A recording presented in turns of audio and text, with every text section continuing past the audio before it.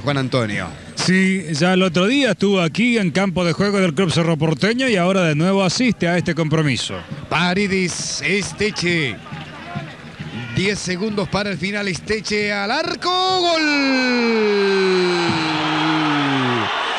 Gol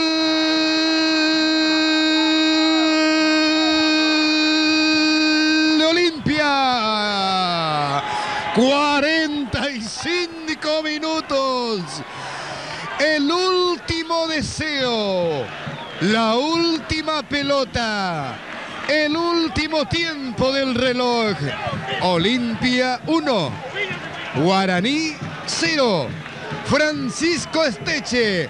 Una pelota mansita que pega en el tobillo derecho del jugador Osvaldo Campos. Y la pelota que va adentro. Olimpia, Olimpia 1. Guaraní 0. El clásico más añejo tiene dueño. Olimpia. Como quien no quiere la cosa ya. En los segundos finales de este compromiso, cuando decía yo la tendencia era la definición a través de los penales, saca Francisco Paco Esteche este remate de media distancia